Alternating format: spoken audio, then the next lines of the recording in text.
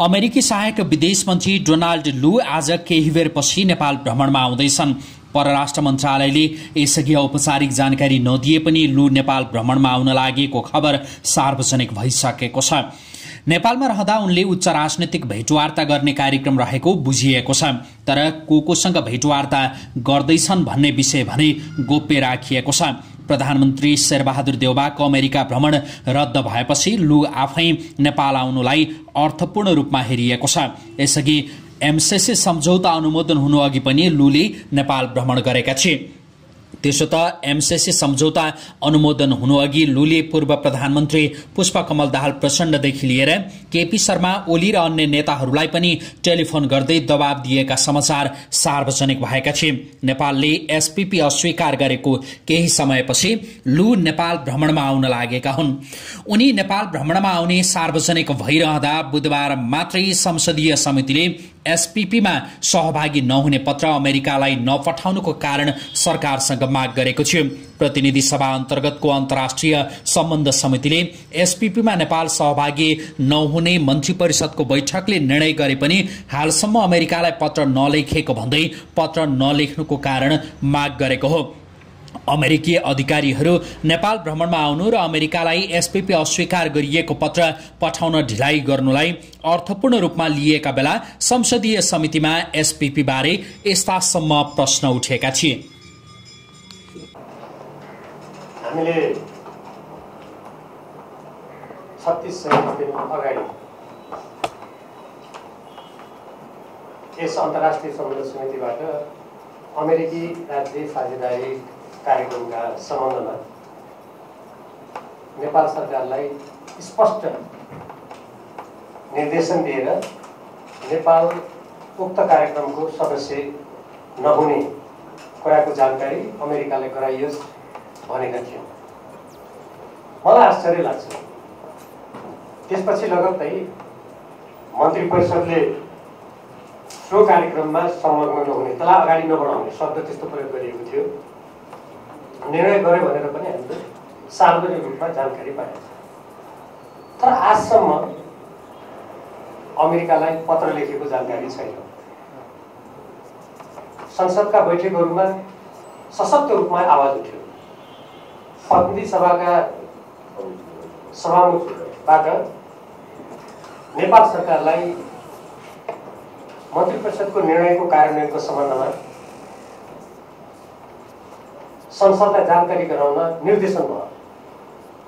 त्यो निर्देशन भएको पनि एक हप्ता बितिसक्यो।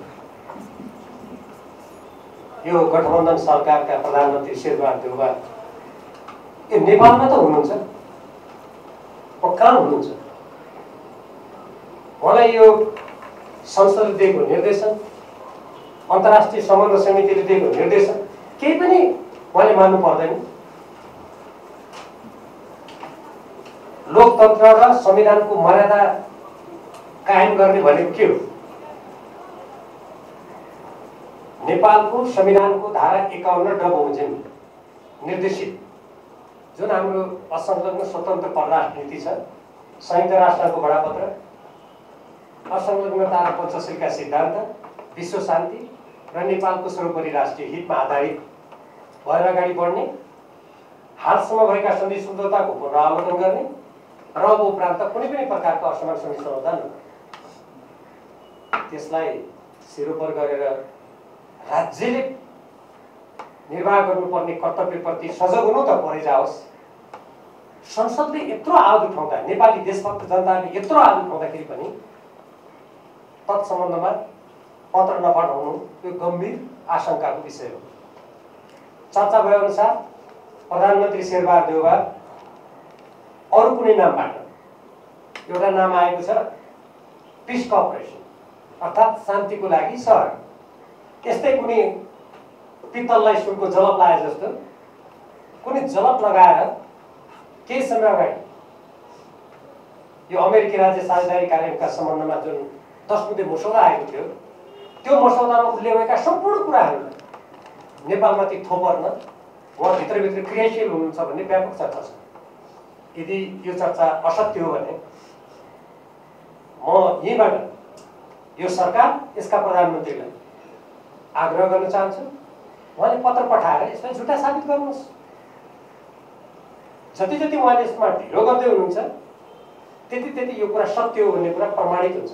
अझ अर्को पनि के सुन्नमा आएको छ भने आगामी संयुक्त राष्ट्रको महासभाका सिलसिलामा उहाँले अमेरिका भ्रमण गर्दा यो सबै कुरा गर्ने रे भन्ने पनि चर्चासँगै छ। जब सरकारले आफैले गरेको निर्णय कार्यान्वयन गर्दैन संसदको निर्देशनलाई मान्दैन संविधानका धाराहरू मिच्छ अन्तर्राष्ट्रिय सम्बन्ध समितिको निर्देशन मान्दैन त्यति बेला राष्ट्रहित विपरीत एउटा शक्ति राष्ट्र अमेरिकाको सैनिक अखाडा नेपाललाई बनाएर आज जुन विश्वका ठुला ठुला शक्ति राष्ट्रहरू अनेक प्रकारका द्वन्द्वमा तीव्र प्रतिस्पर्धा गरिरहेका छन् त्यो भुमरीमा नेपाललाई धकेल्ने धकेल्न वर्तमान सरकार र यसका प्रधानमन्त्री उद्धव छन् भन्ने कुरा किन नहुने? त्यसकारण यसै सन्दर्भमा एउटा कुराको मलाई सम्झना हुन्छ केही दिन अगाडि नेपालका लागि अमेरिकाका राजदूत भन् राजदूत जो नियुक्त हुँदै हुनुहुन्छ उहाँलाई त्यहाँको संसदीय समितिले सुनवाई गर्ने क्रममा उहाँले एउटा कुरा बोल्नु भएको छ मैले त्यो सार्वजनिक पत्र पत्रिकामा पढेँ। यो एमसिसी सम्बन्धमा चिनको दुष्प्रचारका बावजुद हामीले त्यसलाई पारित त्यो चाहिँ अनुमोदन भयो नेपालमा भनेर। मलाई आश्चर्य लाग्यो। त्यसो भए अहिलेको सरकारले संसदबाट गरेको बाह्र बुझे घोषणा पनि यो चिनकै दुष्प्रचारको परिणाम हो। अन्तर्राष्ट्रिय सम्बन्ध समिति लगायत जे जति राष्ट्रिय स्वाधीनताको लागि आवाज उठाइन्छ देशभरि त्यो सबै अर्कै देशले गरेको दुष्परिणाम हो।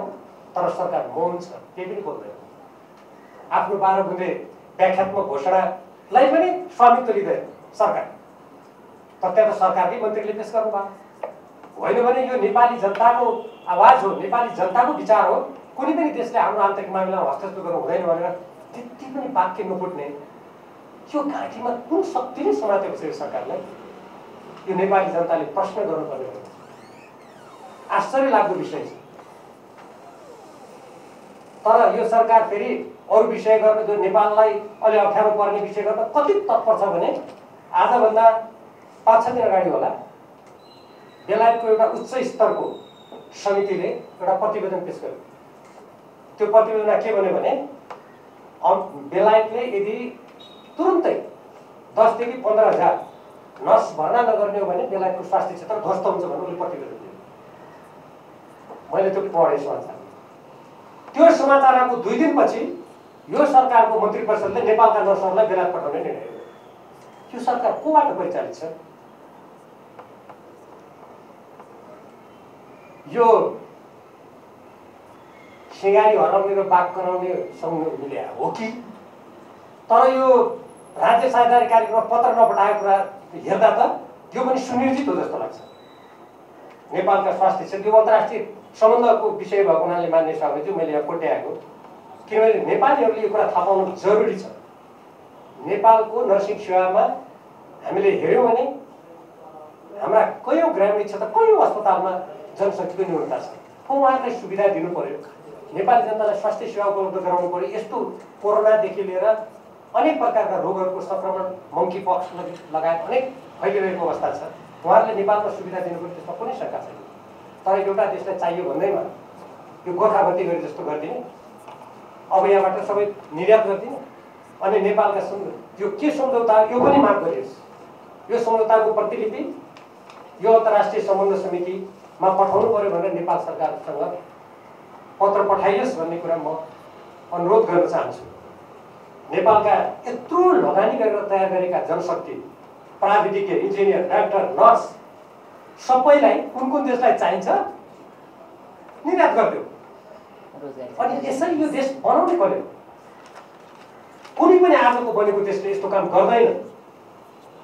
त्यसैले यो मैले राज्य व्यवस्था यो राज्य साझेदारी कार्यक्रमसँग यसलाई किन गाँसेको भने यो पनि मन्त्री परिषदले सहमति गर्ने भने सहमति गर्दा सम्झौता गर्ने होला। अब यही कुराको सिलसिलामा अर्को सम्झौताको प्रसङ्ग छ। यो सरकारसँग माग्नुपर्ने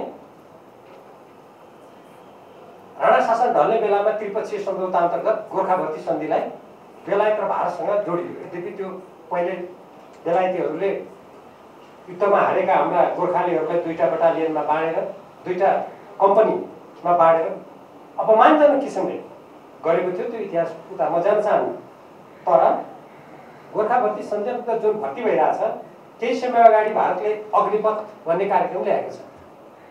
त्यो कार्यक्रम अन्तर्गत चार वर्ष सेवा गर्न पाइने। कुनै पनि बेला त्यो भर्ती गरेकालाई हटाउन पाउने उनीहरूले सेनाले पाउने सुविधा नपाउने निवृत्तिभरण पनि नपाउने तर खटाएको जहाँसुकै जानुपर्ने। उनीहरूलाई अलिकति केही रकम एउटा कार्यक्रम अन्तर्गत दिने कुरा गरेका छ अब गोर्खालीहरू भनेर जो नेपालीहरू भारतीय सेनामा भर्ती हुन्छन् उनीहरूलाई यो लाभ हुन्छ कि हुँदैन? यो सरकारलाई थाहा त छ चासो त छ। के हुन्छ उनीहरूको भविष्य? त्यसरी आफ्नो नागरिकहरूप्रति पूर्ण रूपमा व्यवस्था गर्ने अनि खालि चुनावमा गठबन्धन कहिले गर्ने को व्यक्ति कसरी जित्ने कसरी त्यो पदमा पुग्ने राजनीतिको तात्पर्य यही मात्रै हो त। यसैको लागि त आन्दोलन भएर यतिका मान्छेले बलिदान दिएका हुन् त।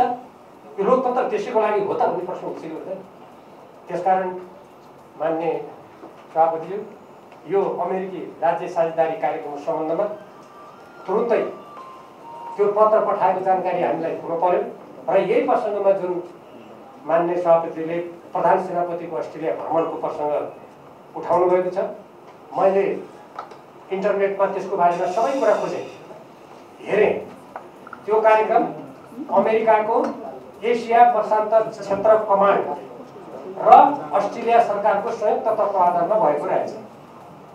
र त्यो कार्यक्रमको उद्देश्य अमेरिकी इन्डो पेसिफिक रणनीतिको जे छ त्यसको उद्देश्य पनि त्यही नै रहेछ। कार्यक्रमै संयुक्त रूपमा आयोजना गरेको रहेछ। अनि एकातिर सरकारले यहीँ आएर प्रधान सेनापतिजीले यही समितिको बैठकमा के भन्नुभयो भने यो राज्य साझेदारी कार्यक्रम हिन्द प्रशान्त रणनीतिको अङ्ग भएको बुझिएपछि हामीले अब यसलाई अगाडि बढाउनु हुन्न भन्ने धारणा राखेका थियौँ भने यही ठाउँमा भन्नुभएको म यहीँ बस्नु भएको अनि तिनी प्रधान सेनापति त्यो हिन्द प्रशान्त रणनीतिको अङ्ग भएको सम्मेलनमा कसरी जान्छ अनुमति दिने को गठबन्धनका पाँचजना नेताहरू हुनुहुन्छ अनुमति दिने किनभने आजकल बालुवाटारमा निर्णय गरेपछि त्यही कुरा सरकारले निर्णय गरेको सुनिन्छ त्यो हो कि पूर्व प्रधानमन्त्री पनि एउटा सदस्य हुनुहुन्छ मैले उहाँलाई व्यक्तिगत भने आएन यो संयन्त्र भावनाले भने हो त्यसपछि गएर प्रधानमन्त्री शेरबहादुर देउबाजी दिने किन रक्षा मन्त्री उहाँ हुनुहुन्छ अनि यो देश कसरी चल्छ यो आपत्तिजनक कुरा छ। यस सम्बन्धमा उहाँले त्यहाँ के के गरेर आउनुभयो अन्तर्राष्ट्रिय सम्बन्ध समितिलाई? प्रधानमन्त्री रक्षा मन्त्री हुनुभएको छ। उहाँले यहाँ आएर जानकारी गराउनुपर्छ हामीलाई। अनि प्रधानमन्त्री भएपछि मन्त्री भएपछि संसदीय समितिमा जानु भनेको संसदमा जवाब दिनु भनेको यो अपमान हो भन्ने पनि सुनिन्छ कहिलेकाहीँ यो के संसदीय? त्यसो भए संसद भने हामी जस्ता तलका सांसदको लागि मात्रै ठुला नेता र प्रधानमन्त्री हुने मान्छेको लागि यो अर्थहीन। यस्तो अलोकतान्त्रिक तर्क गर्न पाइन्छ। हुनु पर्यो अहिलेसम्म कागजात उपलब्ध न नगराइएकोमा यो सरकारप्रति खेद प्रकट गरिनुपर्छ। यत्रो यत्रो दिन बित्दाखेरि पनि के यो हामी जनताको प्रति जनताको सार्वभौम सत्ताको अधिकार अभ्यास गर्ने थलो होइन यो?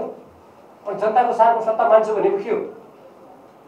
समितिका निर्देशनलाई लत्याएर जनताको सार्वभौम सत्ता मान्छु भन्ने हुन्छ? लोकतन्त्र मान्छु भन्ने तर्क स्थापित हुन्छ? हुन सक्दैन।